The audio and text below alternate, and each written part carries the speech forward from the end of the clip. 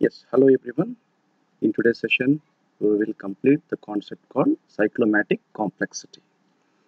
In in our previous session, we have covered what is meant by independent program paths and what is meant by flow graph notation, right? So what is meant by basic path testing? We have covered all these things, right? These all are the concepts which comes under internal and external views of testing, right? Already we already discussed that the internal testing is called as white box testing and external view testing we call it as a black box testing right? So currently we have covered the the basic path testing and uh, how we can how we can determine the flow graph notation and uh, how we can through the how we can draw the flow graph also right? So what is meant by edges what is meant by nodes and what are the regions all those things we have covered. Next uh, we have discussed about uh, what is how many independent paths are there for this diagram right? So all those things we have covered in previous uh, video. If you got any doubt you can check in my previous session right? And very simple how do you know how many paths we need to look for? That's a good question. So because here we have seen four paths. Already there fifth path also there we excluded. So how we can determine that there are without us without um, uh, traversing each and every node each and every edge uh, by by knowing we, we need to have some mathematical calculation so that it will be easy. Okay through that calculation we can simply confirm that okay this particular uh, uh program this particular source code has uh, this much of paths are there so that we need to traverse all these uh, all these nodes all these edges right? So like that we need we need some mathematical calculation so for that for that computation purpose we are depending on cyclomatic complexity right? The cyclomatic complexity is a software metric which provides a quantitative measure. That means how much complexity how much logical complexity is there in in our program right? The main intention of this complexity the main intention of the cyclomatic complexity is it need to find out how many independent paths are there right so for that we have some simple uh, simple way of uh, uh, simple three ways are there how to find out the uh, cyclomatic complexity the first first first way is number of regions of the flow graph is also tells about the complexity.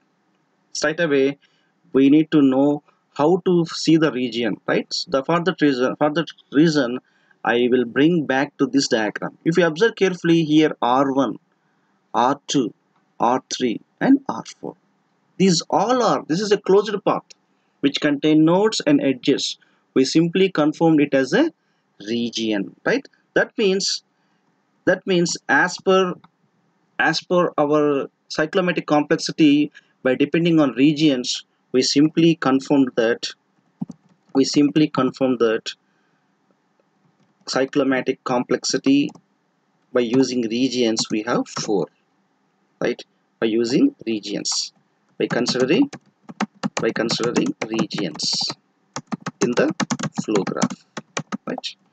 Now second this is this is first way of knowing complexity and second way of knowing the complexity. Second way of knowing the complexity right? V of g is the cyclomatic complexity right so v of g in second way is very simple. V of g is equal to e minus e minus n plus 2 right? N plus 2 so straight away what is e? E is edges and what is n? N means nodes right?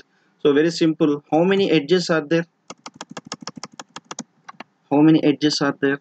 If you see observe carefully the particular this then the connecting part we call it as edges. One two three four five six seven eight nine and 10 right once again uh, we, will, we will we will once again we will check.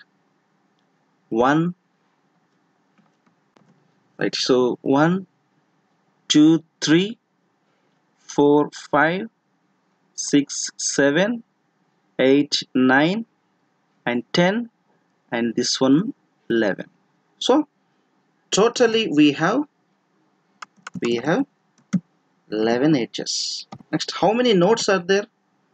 1 2 3 4 5 6 7 8 9 9 nodes are there. Means 9 so 11 minus 9 plus 2 so the answer is 4 that means by you by by knowing the second part by you by by seeing the second part v of g equal to e minus n plus 2 we got the value as 4 that means complexity is 4 and next third third way of knowing complexity is v of g is equal to v of g equal to of g equal to what is that? P plus 1 p plus 1 what is p? P stands for p stands for predicate node. P stands for predicate node. What is meant by predicate node? Predicate node means in this diagram if you observe carefully any node suppose take this particular node. Any node which contain two or more edges two or more edges emanating from from from from that particular node we call it as a predicate node. That means one two or more edges that is that is moving outward from that node we call it as a predicate node. So how many predicate nodes are there here? Let us verify once again. Let us see. For first node how many mm, edges are there? Right, that is how many uh, edges are emanating from it? So this one is one one and this one is going outside. So this one we can consider it as a predicate node.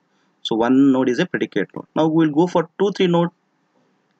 It, it also having one and also having two. That means two nodes two edges are there. So we can consider this also a predicate node. Next come to here 4 5 it has only one edge so this is not a predicate node. For 6 for 6 here it is going to this particular node it is going to this particular node. So 6 also predicate node. So total count is 3 now 8 for 8 8 has only one for 7 only one. For 9 only one. That means for 11 so that it, it has it, it does not have any predicate it does not have any node. For 10 only one particular there. Only one particular edge is there going outside. That means 1 and this particular 2 3 node and 6 that means there are there are how many predicate nodes? 3 predicate nodes are there. 3 plus 1 3 plus 1 equal to 4 right so like this we can we can we can able to know the complexity cyclomatic complexity in three ways. First one is by considering region in the flow graph. Second one is by considering through edges and nodes. And third one is predicate zone right?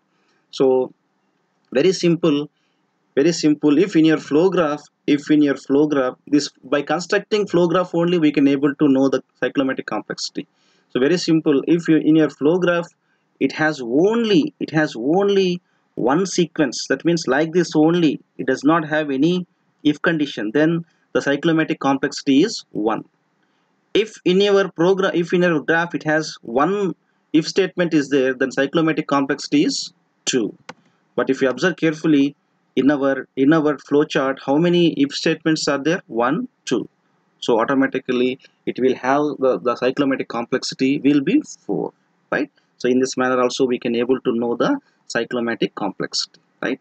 So this is the important concept. So understand well if any queries are there write down your queries in the comment section right? Uh, thanks for watching and subscribe to this channel